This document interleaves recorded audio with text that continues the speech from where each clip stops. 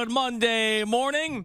Start of a new week as we head into Memorial Day weekend, where we will be at DJ's on Friday morning. It's going to be a fun, crazy, busy week for us here at WFAN. We don't want it any other way. And last night, Boomers Rangers got on the board in this series. You were thinking maybe they don't score a goal ever again. But with the way that they were playing, and I understand they weren't scoring, but the way that they were playing defensively and just the effort level, and as they like to say in hockey, the battle level in those first two games, you felt pretty good about the Rangers winning this game three. At least I did heading into the game. I don't know how you felt. And they did. They took care of business. And now you feel like, after thinking, man, you know, the Carolina Hurricanes have totally shut down the Rangers and you let one slip in game one. Now you're feeling, hell, we can win this series. Let's go. Got the Yankees and Mets to get into a controversy with Josh Donaldson and Tim Anderson. The Mets beat the Rockies a couple times, and this is the first little rough patch that the Yankees have felt, if you want to call it that, uh, getting swept in that doubleheader by Chicago yesterday. Dan Snyder news. I mean, there. Today's jam packed. Let's get it going. Good morning, Boomer. How are you? Yeah. Good morning, G. You know, and the thing uh, when we left on Friday, we were hoping that we were going to come in here this morning, and it wasn't going to be 3-0 Yeah. because they had already been down one. Uh, you know, one 1-0. But uh, as I was saying to you uh, before this uh, series started, you know, Carolina is very good defensively. Um, the Rangers played amazingly defensively on the road in Carolina. I mean, like they played a very, very tight game. There weren't a lot of shots on goal by Carolina. What victimized the Rangers, like I was saying going into the, the series, was going to be whether or not our power play was going to be able to generate enough goals against their very good PK, their penalty kill. And our situation down in Carolina was not good in that regard. As a matter of fact, we gave up a shorthanded goal. Uh, Igor played great in those games, and the defense in front of him played ge- great because he didn't really have all that many shots to have to save. And those games were really, really tight. Uh, this game opened a little bit more yesterday, but then again, we finally got a power play goal from Mika Zibanejad, and that has been, you know, our calling card all year long. And we could sit here and talk about not scoring goals. They weren't scoring goals either, and they haven't been scoring goals either. Um, so it was a one nothing game uh, in game two that they ended up. Uh, I mean, a nothing nothing game that they ended up giving up a shorthanded goal, and in and in game one they had a one nothing lead going into the third, and they ended up sitting back on it. And yesterday, at the beginning of the third period, I said, "Oh my God, here we go again. They're going to be sitting back on it." They kept just chipping it out of the zone, chipping it out of the zone. But then finally, they started, you know, doing a little bit more. And then when I think about in in uh, in game one, we had the Kaapo Kakko wide open goal that missed. Yeah. Uh, we also had, uh, you know, a Kreider miss yesterday at the open net, uh, and then Motte finally gets the open Yeah. net. I mean, a lot of things. Look, the team is playing hard. It's playing physical. They're they're they're you know. But the thing about Carolina, when you're playing against them, they have a lot of tall guys. Guys got a lot of long sticks. They're getting their sticks in the way of a lot of different things. And as long as you don't turn that puck over in the neutral zone and it goes forward, and you get to get uh, to keep them in their zone a few times, I, I would sit here and say that you know it's a uh, it's a very very even series at this point. I think Igor right now is the difference maker in these three games. He's been amazing, and yesterday he was even more amazing despite letting up the little softy under his left le- uh, left arm, and it was a backhander, you know, by Niederreiter. But I think uh, you know this is exactly the way. I envisioned this series to be unfolding. I don't know if it's ever going to really truly open up, um, uh, but uh, if they can keep the shots to a minimum, although they did give up 44 shots yesterday. Yeah, I was going to say yesterday that was not can- the case. Yeah, but that was Igor's game. Igor's game yesterday, and it kind of got open a little bit. Um, but you got to be you got to be careful. They have they have highly skilled players just like we do, and, and Rob Brendamore said it, and I agree with him 100. percent It was kind of a, a, a much more fun game to watch yesterday than it was the previous two because the pre- previous two are so tight. I mean, just so tight. So I feel good. You know, I feel good. I feel like my goalie's really seeing things and playing well. Um, I like the way our defense, for the most part, has been playing. And then when Mika scores the power play goal, I said, okay, this is our team. This is what we've done all year long. So our defensive aspect of our, our games have been really good. Our top lines and our Artemi Panarin haven't done much, but uh, you know those are the guys that need to do more. There's no question about that. And man, I mean, Kakko and Chytil, those guys have had opportunity after opportunity. They just haven't been able to bury it. You know, Chytil got the one, but uh, you know, Kakko's had about two or three point blank grade A chances that he's either missed the net or you know Antti Raanta has made a save. So hopefully sooner or later he's going to break through, and if he does, then that's the the the other side of the scoring aspect that you really want. You want your bottom two lines to be able to at least contribute something offensively. Yeah, and you mentioned how you feel like the series is even. I, I, agree. This is not one of those, hey, the Rangers got a cute little win at home and now they're going to lose in five. That's not the sense that I have I with the way that, that this.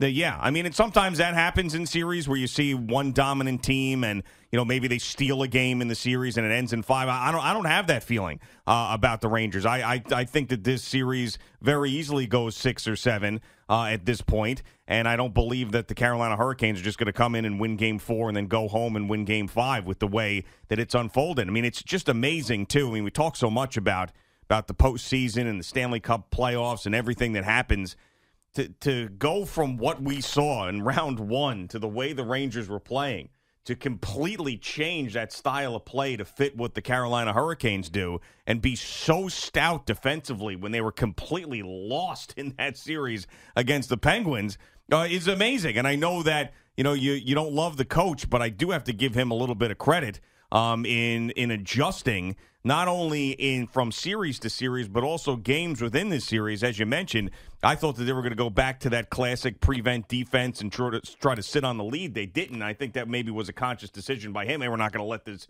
happen again. Let's get more aggressive. Let's go. Well, the players the players said that too after game two. And the other, the other thing I will say that that is apparent to me now is that uh, Gallant is somewhat a relaxing figure. Like he's he, uh, you don't see any kind of panic in his voice. Yeah. Or what he says after the games in the post game, especially those first two games down in Carolina. He's like, "Hey man, these were great games. These are tight. These are tight defensive games. Our our team was playing, t- you know, defensive hockey, and I would agree with him that that was something that I didn't expect. I thought it was going to be running gun." But it's certainly when you have two of the best defensive teams and you don't even realize it in terms of goals given up. But I think the goals given up part of it, I mean, is, is really Igor Shesterkin for the Rangers. This is why he's up for the Vezina and the Hart Trophy, both, because he's been able to keep the Rangers and, and really kept them afloat early on in the season when he was unbelievable. But I think he's really been good the last four or five games that he has played. And these these games that he has played down in Carolina were great games. I mean, you know, you have you have a breakaway and a shorthanded goal, which you know guys Kreider's were lo- loafing on that. Um, uh, you know, and that's that's not his fault. I, there's not one goal. Maybe the only goal that's his fault was the one that he gave up yeah, yesterday, yesterday. Niederreiter. Yeah, that's the only goal. Everything else has either been an empty net goal or it's been an unbelievable tip pass, uh, a freak goal like the one off a uh, Lindgren stick.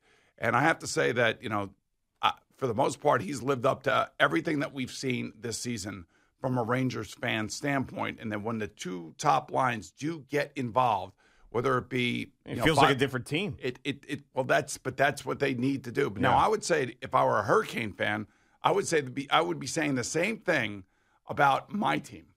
I would be saying that you know my top players are not scoring. Mm-hmm. Now we can't win a faceoff for to the save life. your life. I mean, yeah, it's, it's unbelievable. So we, we end now, up, especially if it's in our zone, we end up having to defend our zone a little bit more than we should have to.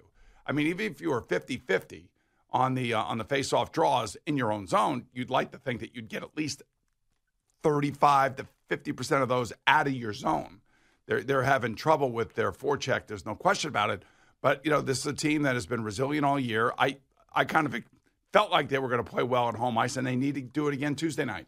Yeah, and uh, you mentioned how the calming influence of Gerard Gallant. Well, you saw him really ticked off at the end of this game and saying stuff and being angry, and you really hadn't seen him like that. At least I hadn't seen him like that, at least throughout the playoffs. I don't know if he had a regular season moment where he was saying stuff like this was uh, bull crap, and well, we're you know gonna. who he was yelling at? He's yelling at Max Domi. Yeah, I'm gonna well, get to. no, yeah. he's also yelling at Tony DeAngelo, the former Ranger. He's screaming at him too. Well, I mean, it was real. He really talked about those specifically about Max Domi and, the, and, and the, to cross check on Lindgren once time expired in the third. But here's what Ryan Lindgren's got to realize.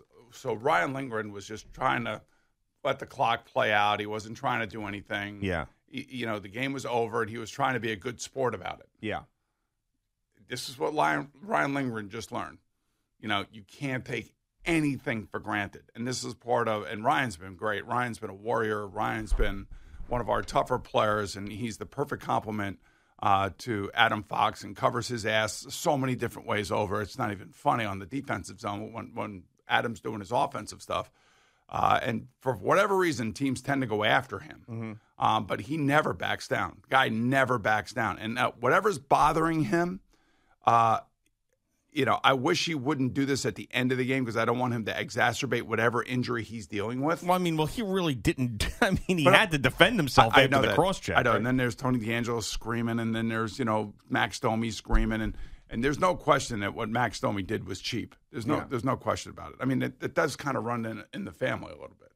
I'm You know, sure, of course. I mean, he's got better hands than his Yeah. dad did when it comes Right. to scoring goals, but maybe not when it comes to fighting. Right. But, but it does it does run in the family a little bit. I understand it. That's that's what hockey is. That's what playoff hockey is. You try to send a message, and then the message uh, is either received or it's reacted to. And in this case, uh, for Ryan Lindgren, he's not going to back down from anybody. And, you know this this is one of those guys like he and Braden Schneider. When Braden Schneider finally figures it out, he's he, he's not. He, they're taking some of the ice time away from him just because there's a few struggles, but he is still hitting people, and he is going to be a really really good, solid defensive defenseman, and he is going to be a physical present, much like I think he's like a young Trouba. He's like a young McDonagh. You know, he's a kid that you can see is going to be really, really solid.